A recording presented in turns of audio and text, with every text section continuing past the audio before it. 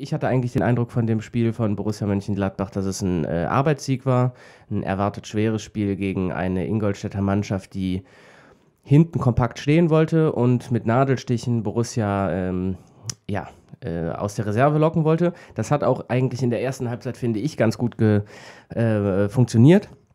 Was die Ingolstädter gemacht hat, das zeigt auch ein bisschen die Statistik. Und zwar hat äh, Borussia im Endeffekt äh, über die 90 Minuten nur 49 Prozent der Zweikämpfe gewonnen, also eine relativ ausgeglichene Statistik. Das ist äh, besonders für ein Heimspiel natürlich etwas äh, ungewöhnlich, weil ähm, wir sind da natürlich etwas erfolgsverwöhnt, dass ähm, da einfach immer Vollgas gegeben wird, auch die Zweikämpfe immer angegangen werden, wie sie es müssen. Das hat man besonders ja auch im Spiel gegen Bremen gesehen, dass da einfach richtig Feuer dahinter war. Ähm, aber Ingolstadt hat das geschickt gemacht, ähm, ist früh draufgegangen in dem, im Spiel, hat versucht, die, ähm, das Mittelfeld zu verdichten und somit natürlich auch ähm, unser Kombinationsspiel ein bisschen zu unterbinden. Nur eine Sache, die mir aufgefallen ist, ähm, die vielleicht vom, vom Team hätte besser gemacht werden können, ist, man hat immer wieder versucht, wie wir das natürlich auch super können, äh, den Tiki-Taka zu spielen mit kurzen ähm, Doppelpässen und einfach so sich nach vorne zu kombinieren. Das hat selten geklappt, weil die Ingolstädter natürlich einem sofort auf den Schlappen gestanden haben. Ähm, da hätte ich mir vielleicht manchmal erhofft, dass, wenn man schon so Spieler wie Johnson und auch Wendt äh, und auch Stindl im Team hat, die den Ball einfach auch mal halten können und mit Sicherheit auch André Hahn, der den Ball auch mit dem Rücken zum Tor mal annehmen kann, dass man da vielleicht mal kurz den Fuß auf den Ball und nicht unbedingt dieses ähm, schnelle Spiel erzwingen möchte. Gut, im Endeffekt ähm, war es ja auch nicht schlimm, weil das Spiel wurde ja auch gewonnen.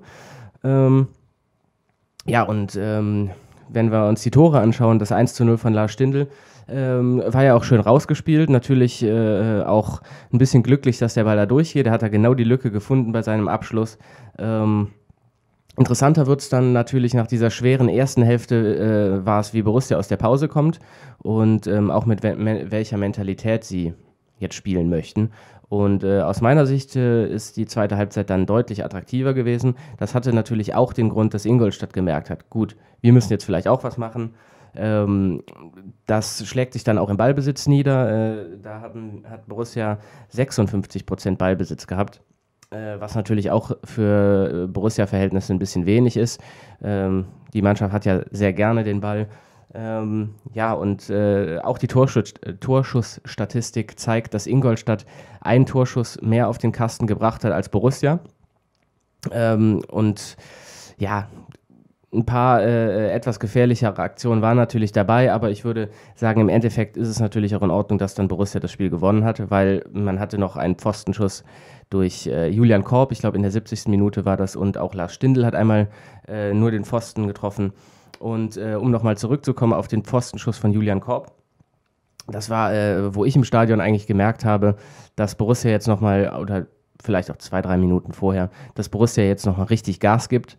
Äh, man hat einfach gemerkt, dass, dass Ingolstadt äh, auch mehr versucht, offensiv aktiv zu werden. Das hat Räume eröffnet, ähm, die vor allen Dingen auch Moda Hut dann äh, gut getan haben, der dann ein äh, bisschen besser ins Spiel kam, ein bisschen kombinieren konnte und auch äh, sein Spiel, das wir aus der letzten Saison auch kennen, aufziehen konnte. Das führte dann folgerichtig dazu, dass man erstmal die große Chance durch Julian Korb hatte, äh, wo er ein bisschen Pech hat und nur den Pfosten trifft. Aber dann natürlich auch das ähm, äh, 2 zu 0 erzielt. Äh, ja, und ähm, mir besonders gut hat, hat wieder äh, auch Torgan Azar gefallen, der äh, über eine Einwechslung dann reingekommen ist und André, äh, André Hahn ersetzt hat.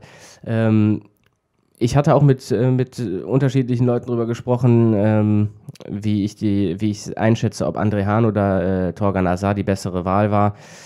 Ich meine, das kann man immer schwer sagen. Man weiß auch nicht genau, warum der Trainer genau so aufgestellt hat. Ich finde es eigentlich immer ganz gut, wenn man mit Hahn jemanden vorne hat, den man auch mit hohen Bällen mal bedienen kann, der körperlich robust ist. Andererseits hat Torgan Hazard natürlich diese unglaubliche Schnelligkeit ähm, und auch mittlerweile diesen absoluten Killerinstinkt vorm Tor. Ähm, ja, und ähm, im Endeffekt war das ein äh, erwartet schweres Spiel aus meiner Sicht. Also ich habe auch einen ähnlichen Spielverlauf erwartet. Äh, hatte natürlich auch die Angst, dass man vielleicht doch noch einen kassiert. Aber äh, das ist dann ja nicht passiert. Ähm, ja, und äh, von daher aus meiner Sicht ein wichtiger Sieg, der auch gezeigt hat, dass vielleicht die Mannschaft wieder einen Schritt nach vorne gemacht hat, weil man einfach auch das zu Null gehalten hat, ähm, ruhig gespielt hat, nicht hektisch geworden ist.